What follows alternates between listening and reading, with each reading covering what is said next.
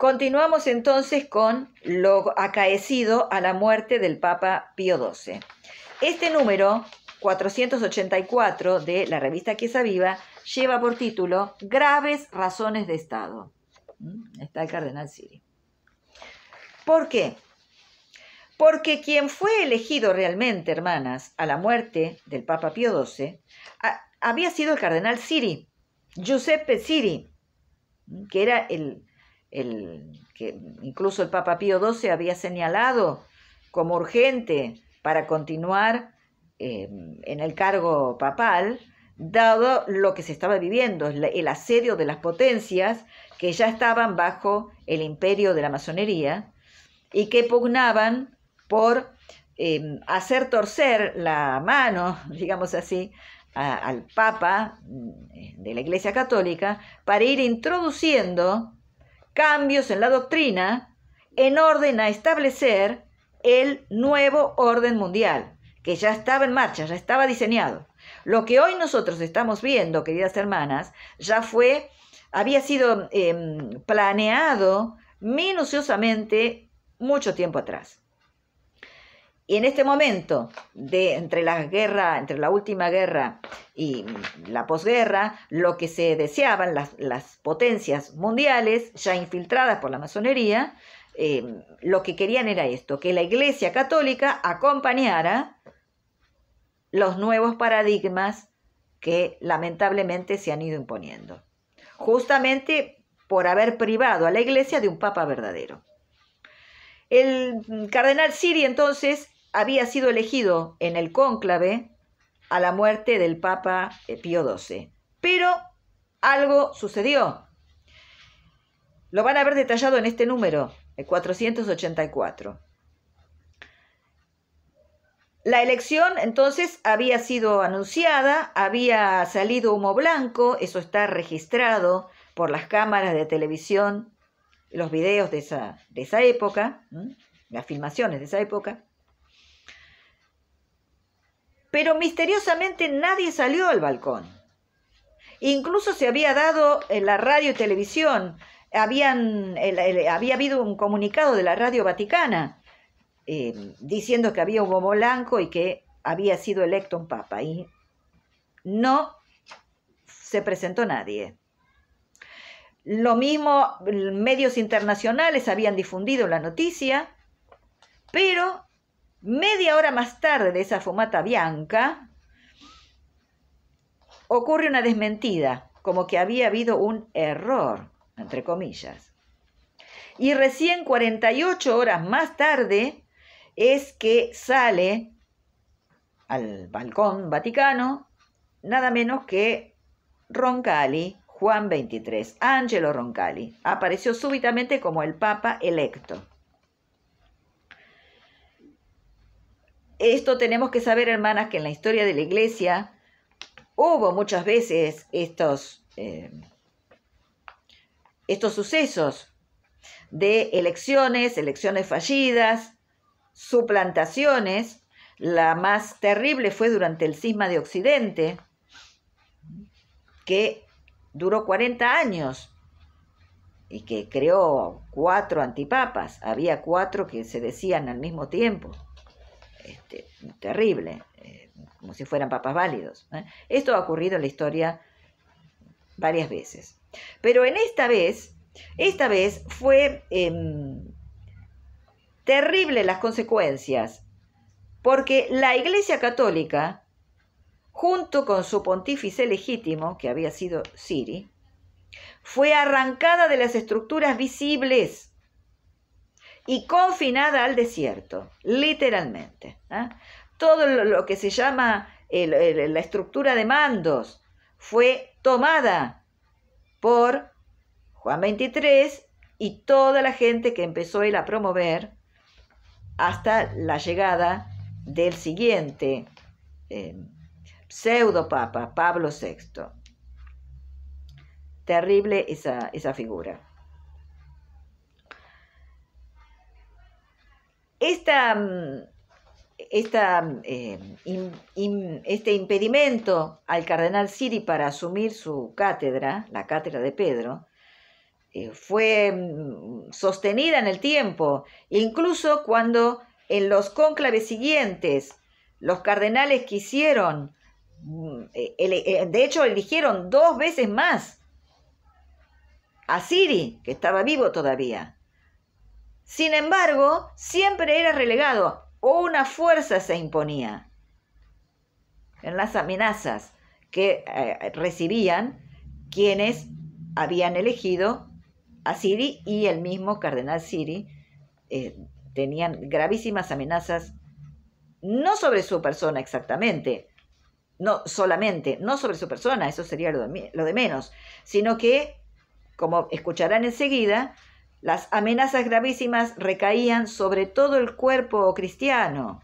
Eh, comenzar retomar, mejor dicho, las persecuciones cristianas igual que lo que había sucedido detrás de la cortina de hierro. Iban a extender esa misma persecución por todas partes.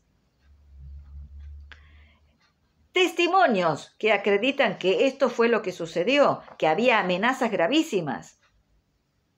Tenemos un primer testimonio antes del fin de la Primera Guerra, en el escritor George Wells, que publicó un libro que se llama Cruz Ansata, Crux Ansata, en, la cual, en el cual propugnaba abiertamente la destrucción del Vaticano, así nomás.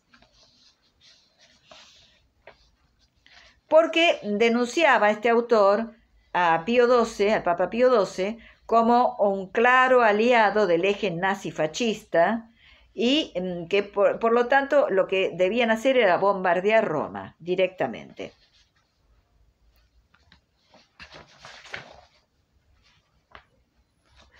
Los poderes mundiales intimidaban al Papa Pío XII con una bomba nuclear sobre el Vaticano. Ya desde 1949 intentaban estas intimidaciones.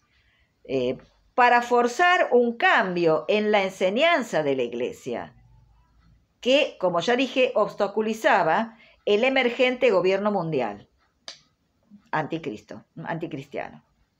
Y hay una nota interesante. Debo, debo em, introducir una nota interesante que eh, me la hizo conocer un anciano ya fallecido que pertenecía a la Acción Católica en la Argentina, porque en esta época muchos católicos adultos en la Argentina estaban al corriente de esta situación, se sabía cómo estaban operando sobre el Papa Pío XII, se sabían las maniobras de esas potencias mundiales. Y había serios rumores de que em, se estudiaba la posibilidad de mudar la curia romana en pleno a Buenos Aires. Este era un rumor que corría entre los miembros de la Acción Católica, los mayores de la Acción Católica. Proyectos de mural la curia vaticana a Buenos Aires, justamente para darle aire y libertad al Papa Pío XII. Incluso, hermanas, el Papa Pío XII había dejado eh, por escrito que em, si él llegaba a, ser tomado prisionero, él iba inmediatamente a renunciar al papado y todos debían reunirse, los cardenales debían reunirse fuera de Roma inmediatamente ¿eh? y elegir un sucesor, pero no en Roma. Así estaba la situación tan grave. Primero entonces testimonio que ya figuraba por escrito en este libro que acabo de mencionar. Otro testimonio, el de Abro Manhattan, otro escritor rabiosamente anticatólico, que directamente lanzó una amenaza pública contra el Papa, diciendo que la Iglesia Católica debería tener presente, escuchen bien, que no solo pone en peligro la vida de innumerables millones de personas, sino incluso su propia existencia. ¿Por qué? Si no se adhería a los nuevos, a las nuevas corrientes de pensamiento, tenían que saber que se enfrentaban a su propia destrucción. Y sigue diciendo este autor en las páginas 418 a 420 de su libro.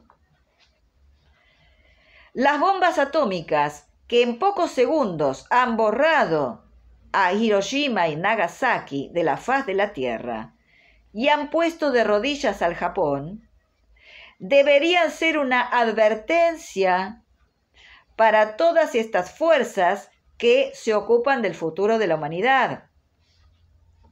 Y dice, la Iglesia Católica no sería una excepción.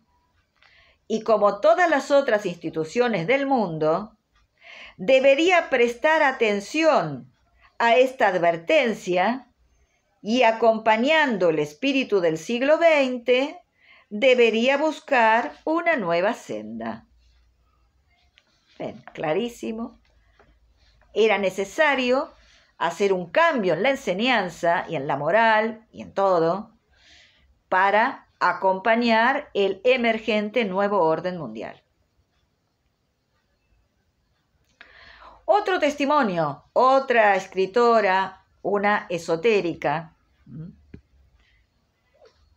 testimonio de Alice Bailey, es una alta sacerdotisa muy conocida en el mundo de la New Age, que hablaba exactamente de cómo las potencias mundiales han buscado aterrorizar secretamente a la iglesia con sus armas nucleares. Lo dijo exactamente. ¿ah?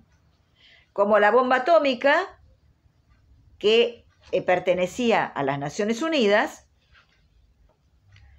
para su uso como también una mm, acción, eh, digamos así, eh, disuasiva, disuasiva para los que se opusieran a los nuevos rumbos.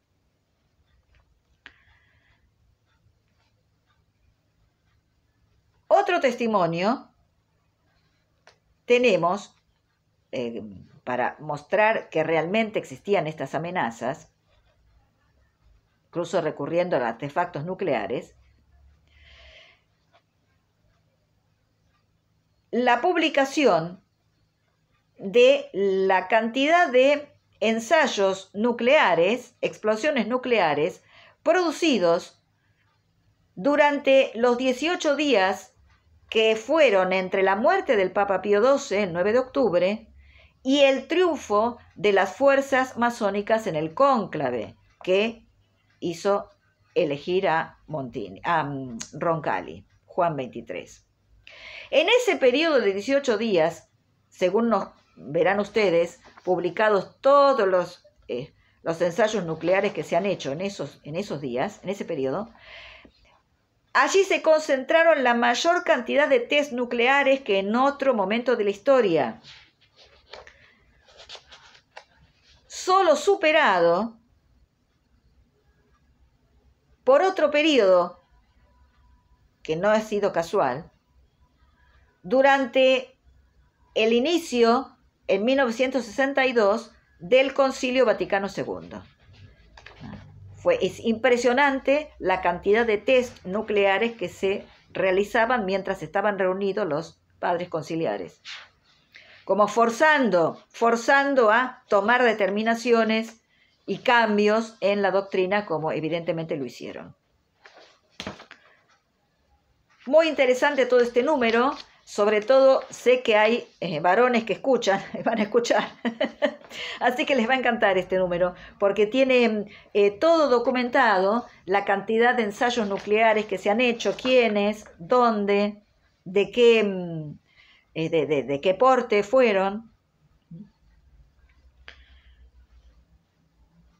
En fin.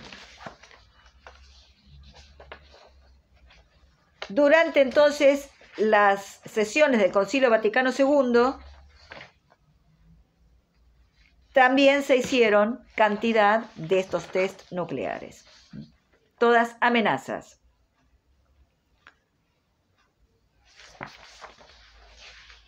Seguimos pasando. Van a ver ustedes en detalle cómo el cardenal Siri fue obligado a dimitir, siempre, siempre que se lo, se lo porque todavía había algunos cardenales que tenían alguna conciencia y trataban de que fuera Siri el Papa, pero siempre la misma amenaza ¿eh? de proceder al asesinato de preeminentes obispos detrás de la cortina de hierro, eh, bombas nucleares sobre las naciones cristianas, así como se hicieron en Hiroshima y Nagasaki. Siempre la misma amenaza.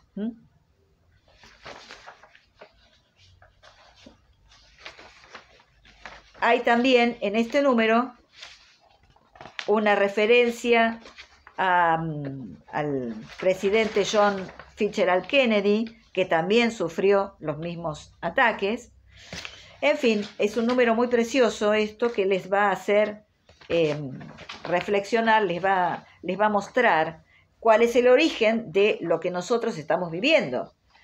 Porque lo que está pasando no se limita al accionar de Bergoglio, eh, que gracias al descaro con que se ha movido, muchos han podido abrir los ojos. Pero hay que saber, hermanas, que esto se remonta a, exactamente a la muerte del Papa Pío XII. Como hemos nombrado en, un video anterior, en el canal Maranata, el mismo, em, el mismo eh, Monseñor Viganó, que muchas de ustedes tienen en alta estima, por eso lo, mencionamos. El mismo Monseñor Viganó ha dicho exactamente que todo este proceso lleva 60 años. Así que eh, debemos eh, ser conscientes de ello. Y les dejo acá el material de esta primera parte para que puedan ustedes leerlos eh, con todo detenimiento. Es fundamental saber esto, hermanas, porque no podemos recuperar la fe y hacer que toda nuestra vida, con las observancias concretas que cada una lleve, em, esa vida tiene que ser realmente em, coherente y esas observancias tienen que estar acompañando a la verdad, a la fe íntegra. Si no, no pasa de ser una mera ilusión. Terrible estado ¿eh? que, que no queremos tomar parte. Dios mediante, em, abundaremos en, ya en los temas de em, cómo se ha ido deformando la doctrina con las conferencias eh, también eh, que vamos a incorporar del padre Ramiro Rivas.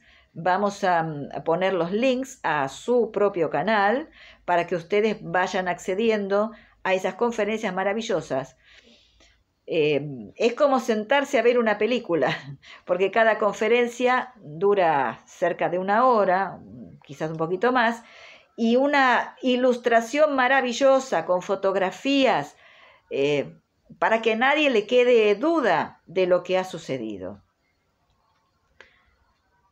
Lamentablemente no es una película, es la realidad, pero es necesario conocerla para, como digo, eh, poder uno defenderse y saber que es necesario recuperar la fe íntegra, ponerse a estudiar. Con la ayuda del Señor, de nuestra Madre Dolorosa, eh, vamos a continuar adelante. Cualquier pregunta, duda, no dejen de comunicarse al mail regina.martirum20 gmail.com. Les enseguida vamos a responder todo lo que necesiten. Que el Señor nos bendiga a todas.